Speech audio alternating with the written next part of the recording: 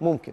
معايا دلوقتي على الهاتف واحد من نجوم النادي الأهلي من الجيل الذهبي وكان أيضا كابتن من كباتن النادي الأهلي وحقق تاريخ كبير مع النادي الأهلي الكابتن وائل جمعة. ازيك يا كابتن وائل؟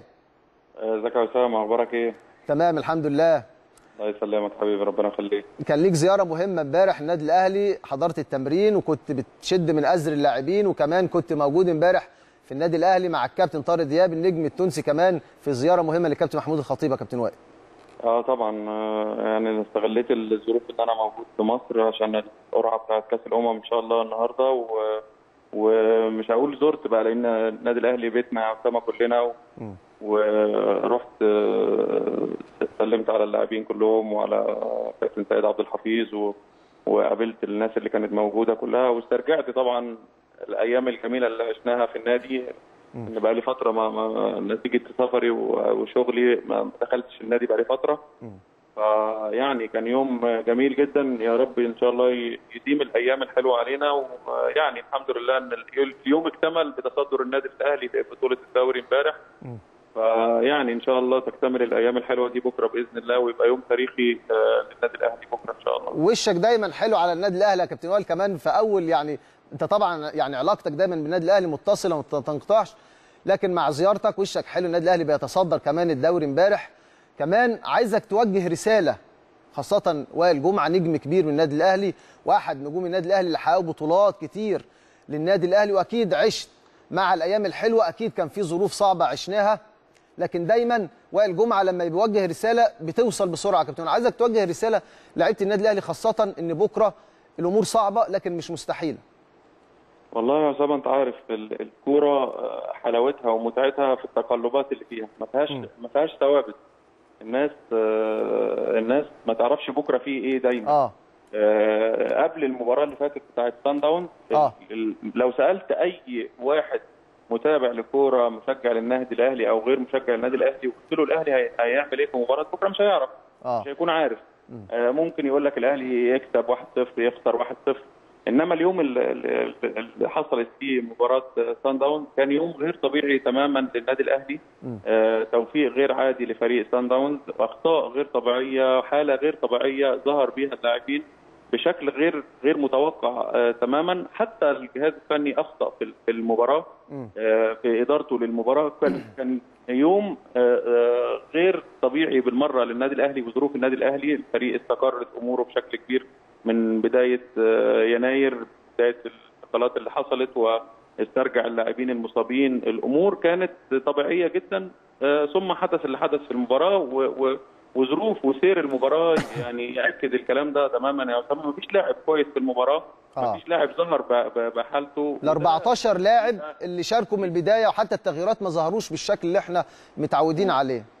وده بيحصل في الكورة أنت. عارف. ده وتاريخ الكورة والناس اللي بتتابع الكورة تعرف إن الكلام ده آه، ممكن يحصل. فإحنا رهنا دايما وعظمة النادي الأهلي بتيجي من الإصرار ومن التحديات ومن المواقف اللي زي كده. آه، هي مش معجزة تماما مش معجزة ابدا في الكوره إن أنت تسجل ناس تتكلم على آه، ثوابت وأساسيات إن إن ده صعب والفريق الثاني كويس. ما إحنا كنا عارفين الكلام ده كله قبل المباراة اللي فاتت. آه، تمام. النادي الأهلي في خلال البطولة أسامة اتغلب مباراتين بره وتعادل مباراة في المجموعة. في خلال المباريات دي آه، كان ممكن النادي الأهلي يخسر في مباريات آه، من الاثنين اللي خسرهم دول. في فرص جت على النادي الأهلي أكثر من الخمسة. آه. والنادي الأهلي يقدر يقدر إنه يرجع في المباراة العودة بشرط زي ما أنا كنت بسمعك قبل قبل دخولي على طول على الهواء أنت بتتكلم في الهدوء في التركيز. ودول آه، نقطتين مهمين جدا جدا جدا. للاعيبتنا بكرة. عدم الاستعجال آه، تركيزي كله يبقى في الهدف الأول عدم دخول هدف في مرمايا تمام. هدف في مرمانا يصعب الموضوع. طبعا. أكيد أكيد. إنما على مدار التاريخ يا أسامة على مدار الكورة تماما في كل شيء يقدر يحصل. أنا أفكر الناس بمباراة ولا مباراتين آه النتائج كانت كبيرة فيهم. مباراة الأهلي مع ال- الفريق الاتحاد الليبي في القاهرة هنا اتحاد سجلنا الليبي. ثلاث أهداف آه. ثلاث أهداف في 20 دقيقة. تمام. والشوط الأول كنا آه، كان 0 0 وكنت مطالب إن أنت تسجل ثلاث أهداف. فأنت عندك لسه 90 دقيقة كل شيء ممكن يحصل فيها. آه، لاعبتنا أكيد عمرهم ما هيظهروا بالحالة اللي ظهروا بيها في مباراة الذهاب. التركيز هيكون أعلى بكتير جدا. العودة اللي حصلت وال- والدخول تاني في أجواء الفوز بالفوز على مباراة المقصه آه، كانت نقطة تحدي كبيرة للعيبة دول وقدروا إن هم يخرجوا من الهزيمة بسرعة اعاده الثقة كمان للاعبي النادي الأهلي. طبعا طبعا كانت مباراة مهمة جدا جدا جدا إن هي ترجع اللعيبة تاني. آه. ف ف دي مباراة على على الصعيد الدولي يا أسامة أنا بفكر في مباراة بين أنجولا ومالي في كأس. الأمم الأفريقية آه، من حوالي ست سنوات أو سبع سنوات كده. الفريق كسبان 4-0 للدقيقة 80 80 آه. الدقيقه 80 مظبوط. اتعادل المباراة انتهت 4 4 يعني ما فيش حد في الدنيا يقول إن الأمور تنتهي كده. آه. آه، يعني في نتائج كتير جدا لو نقعد نتكلم عليها آه، يعني مش هنخلص. لأن الكورة آه. زي ما قلت لك في الأول فيها متقلبات فيها فيها أمور كتير جدا بتحصل. فيها فيها أمور آه، قريبة آه. بشكل كبير جدا. فاحنا عندنا ان شاء الله فرصة اهم حاجة آه، مش هنطلب من اللعيبة أكتر من طاقة. عايزين اللعيبة تأدي الأداء اللي كانت بتقدمه قبل المباراة اللي فاتت بتاعه سان داون آه، الروح والإصرار والعزيمة. اللي بتميز النادي الأهلي تظهر هو ده اللي إحنا عايزينه عايزين الجمهور الأهلي يقول لعيبة الأهلي رجالة لعيبة الأهلي عندهم روح لعيبة الأهلي عندهم مسؤولية. حتى لا قدر الله لو خرجنا كمان بطولة أفريقيا فتبقى هي مباراة لرد الاعتبار لا النادي الأهلي لا ما النادي الأهلي يبحث عن البطولات يا اسامه حتى لو أنا. خسران في, في, في, في الذهاب أنا عندي طول ما عندي أمل إن شاء الله آه، نتمسك بالأمل. أتمسك بيه. ودي النقطة اللي إحنا لازم إحنا كسبنا بطولات كتير ليه؟ الحمد لله يا أسامة وأنت كنت موجود معانا. وتشوف وتشوف التحديات اللي كانت عندنا دايما. أنت كل يوم تقفل الصفحة كل يوم تقفل الصفحة. تمام. أنت سعادة سعادة جمهورك وسعادة المحبين بتوعك بالدنيا كلها. وده اللي كان بيجدد الأمل جواك إن أنت تبقى مركز إن أنت تفرح الجمهور وتفرح ال- الناس المحبين انت انت. آه، السعادة اللي أنت بتدخلها على جمهورك آه، كل لاعب لو حاسس بالنقطة دي بقلبه بجد يا أسامة.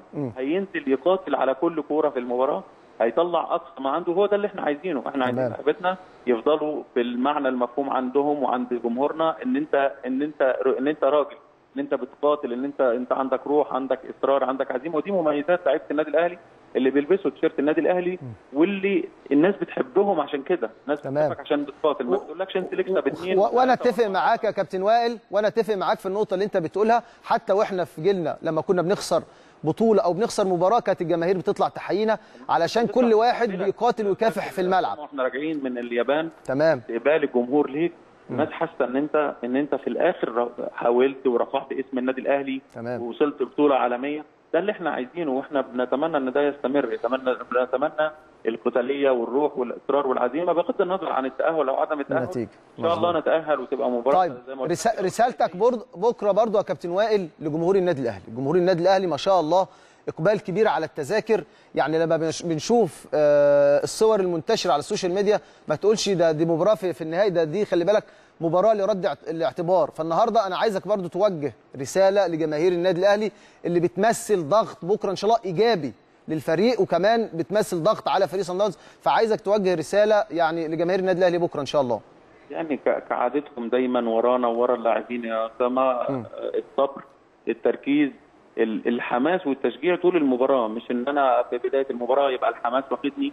إنما النادي الأهلي مش كده وجمهوره مش كده. جمهوره بيفضل ورانا ورا الفريق. بقول لك أنا فكرتك بمباراة الاتحاد الليبي ليه؟ آه. لأن مباراة الاتحاد الليبي كان الجمهور ليه دور كبير جدا تمام. جدا. جدا الشوط. الثاني يا اسامه آه. ال ال ال ال أنت خلصت الشوط الأول متعادل 0 0 آه. آه، الضغط عليك شديد محت- مطالب الشوط الثاني إن أنت كنت تسجل ثلاث أهداف وسجلتهم. آه. من بداية الشوط الثاني أنا أنا فاكر آه، أصوات المشجعين والجمهور ورانا.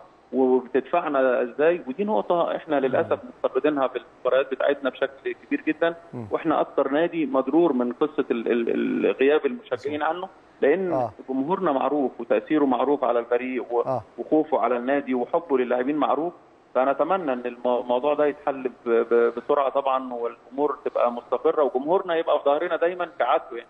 فالنقطة دي أنا ما عنديش قلق من الجمهور إن شاء الله بكرة آه. إن هو ورا اللاعبين لآخر دقيقة في المباراة تمام،. مظبوط. يخرجوا رجالة ويقدموا صورة تليق بيهم وتليق بالنادي الأهلي إن شاء الله انت وأنت امبارح كنت موجود في الزيارة كابتن طارق دياب عايز أعرف بقى انطباعات الكابتن طارق دياب النجم التونسي خاصة إن هو ممكن يكون دي أول زيارة ليه للنادي الأهلي يا كابتن وائل آه فعلا كابتن آه. طارق ما زارش النادي الأهلي قبل كده زار مصر طبعا قبل كده بس ما زارش النادي الأهلي كابتن طبعا منبهر باللي شافه في النادي الأهلي حجم الإنشاءات وحجم الإمكانيات اللي موجودة عند النادي الأهلي والملاعب.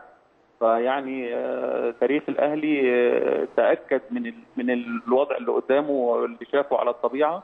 اسم النادي الأهلي كبير فبصراحة كان في انبهار منه باللي شافه. مقابلة الكابتن خطيب طبعا ليه واستقباله ليه كانت يعني حاجة تليق بالنادي الأهلي ورئيس النادي الأهلي. وتاريخ الكابتن خطيب نفسه كشخصية محبوبة من الناس كلها. فيعني بصراحة كان انطباع أكثر ممتاز كابتن طارق وكابتن طارق اسم كبير جدا جدا جدا في الكرة الأفريقية. طبعا طبعا. لا لا يقل ابدا عن الكابتن خطيب أحسن لاعب في أفريقيا و...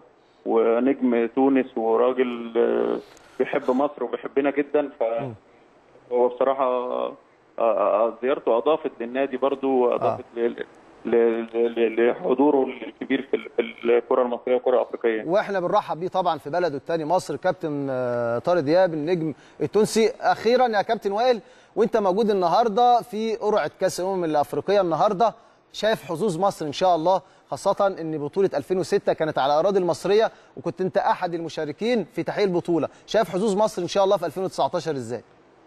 يعني والله يا أسامة إحنا إحنا كنا وصلنا البطولة اللي فاتت للنهائي. فاكيد البطولة على أرضك وفي وسط جمهورك و... و... وأنت اللي منظمها وآخر بطولة اتنظمت في مصر أنت فزت بيها. ف... فده يجعلك طبعا مرشح أول للفوز بالبطولة بالإمكانيات اللي عندنا بالفريق اللي عندنا بامتلاكنا للاعبين زي محمد صلاح وزي حجازي وزي تريزيجيه. ثلاث آه، عناصر أنا أشوف إن هم يدوا تقل للمنتخب المصري ويساعدوا المنتخب بشكل كبير. آه، يعني أتمنى إن شاء الله بالمساندة الجماهيرية اللي, هت... اللي هتتم. بإذن الله منتخبنا يوصل لنهائي البطولة ويفوز بالبطولة إن شاء الله ويفرح الناس.